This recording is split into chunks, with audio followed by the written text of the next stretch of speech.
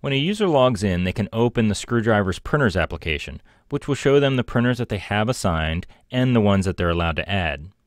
The user can select to view the map, and in this case there are more printers on the floor, but the user is presented with the two printers that they have access to.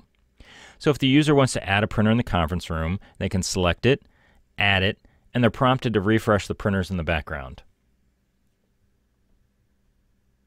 And now they have the additional printer. Opening an application, the user is presented with all available printers for their session, which are combined from the users, groups, devices, and network locations. And these can be print server printers using the virtual print driver, or direct printers, or the client printers that are already on the desktop.